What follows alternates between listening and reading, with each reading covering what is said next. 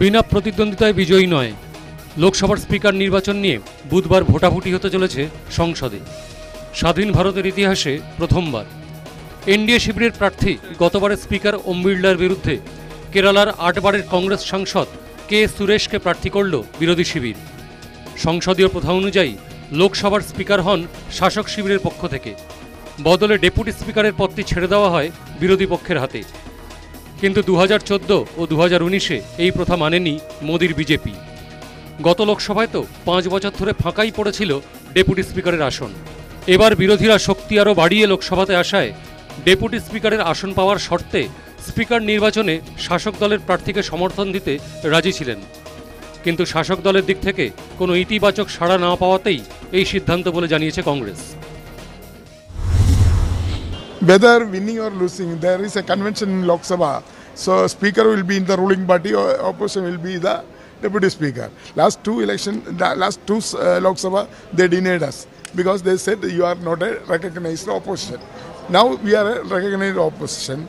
The, the deputy speaker is right for us, but they are uh, not uh, ready to give us.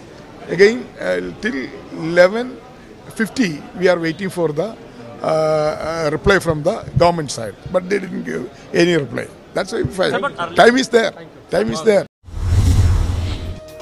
বিজেপির অভিযোগ speaker নির্বাচন নিয়ে প্রথা ভাঙছে কংগ্রেসই deputy speaker নির্বাচনের সময় যখন আসবে তখন সরকার এমনিতেই বিরোধীদের সঙ্গে আলোচনা করে সিদ্ধান্ত নেবে आज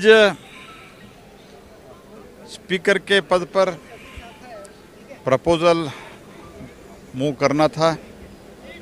तो उससे पहले मान्य राजनाथ सिंह जी मान्य अमित शाह जी,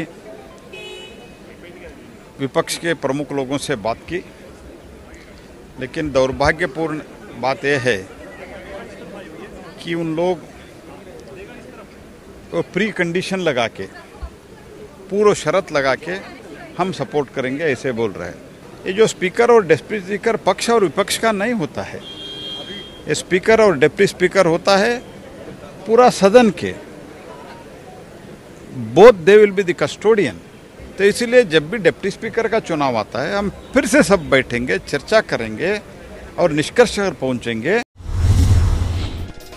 প্রধানমন্ত্রী নরেন্দ্র মোদীকে এই নিয়ে একহাত নিয়েছেন রাহুল গান্ধী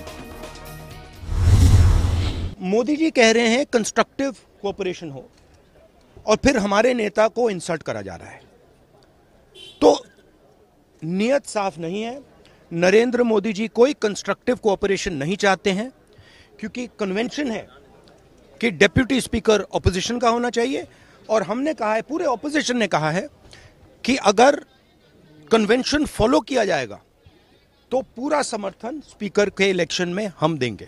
कि नरेंद्र मोदी जी कहते कुछ हैं और करते कुछ हैं, यही इनकी फॉर्मूला है, यही इनकी स्ट्रेटजी है, और इनको ये बदलना ही पड़ेगा।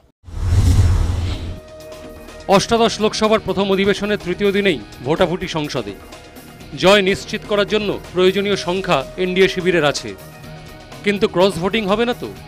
বিরোধী শিবিরই বা কতটা চ্যালেঞ্জ ছুঁড়ে দেবে সরকারকে? দুই পক্ষই কি একজোট রাখতে পারবে তাদের সাংসদদের?